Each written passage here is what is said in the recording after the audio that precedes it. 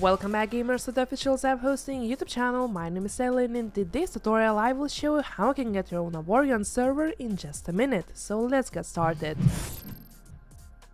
First, as always, visit our website zapmineshosting.com and log in into your Zap account. If you don't have an account yet, you can register here for free. Now navigate to the search bar and search for Avorion. Click on it and then click on the green start button. Here you can configure your server to your liking. You can change the server location, slots, RAM, disk space, CPU and IPv4 is important if you want to protect your server from incoming DDoS attacks. But please keep in mind that for Avorion server we do recommend getting at least 6GB of RAM for a better server performance. Finally, select a payment method but before you confirm your order, here is a little gift from us. 30% off voucher code which you can use by clicking here on use voucher and typing Avorion minus 30. After you confirm your order, the server will be up in just a minute.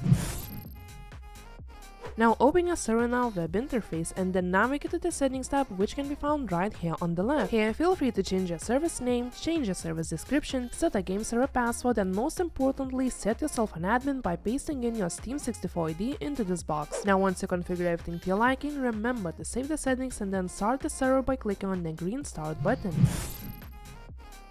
Once server comes back online, copy your server's IP address and then launch Avorion on your PC. In the game, click on multiplayer, then select join via the IP. In here, paste in the IP to your server, then type in your service name and click on add. After this, simply select the server, then click on join. And here you go, you have now successfully connected to your own Avorion server. Enjoy!